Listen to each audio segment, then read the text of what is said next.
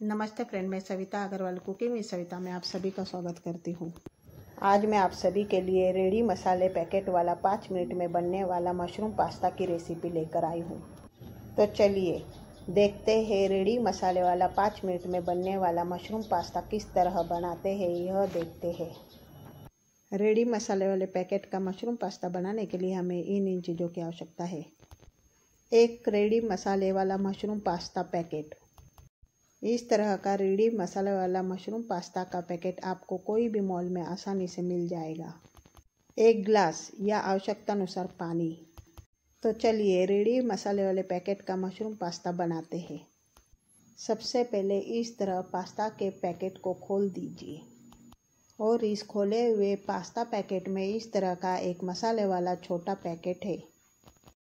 अब निकाले हुए इस छोटे मसाले वाले पैकेट को इस तरह खोल दीजिए।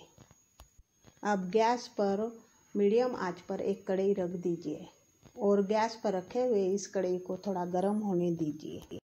जैसे ही कढ़ाई गर्म हो जाए तब इस गर्म कढ़ाई में आवश्यकता अनुसार पानी डाल दीजिए और डाले हुए इस पानी को गर्म होने दीजिए।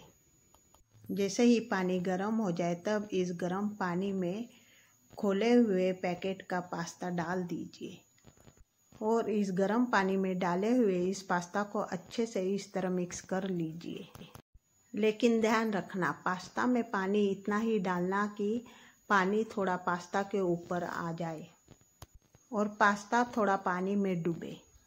जैसे ही पास्ता का पानी कम हो जाए, तब इस पास्ता को देख लीजिए कि पास्ता आसानी से टूट रहा क्या।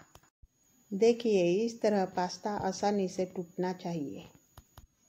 अब इस पास्ता में पैकेट वाला तैयार मसाला डाल दीजिए और इस डाले हुए मसाले को इस पास्ता में अच्छे से मिक्स कर लीजिए।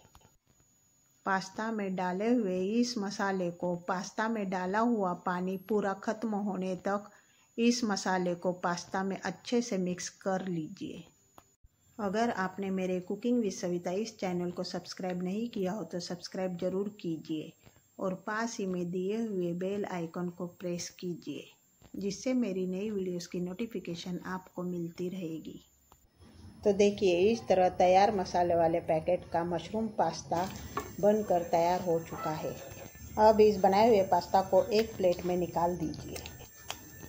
तो मिलते हैं अगली एक और नई रेसिपी के साथ।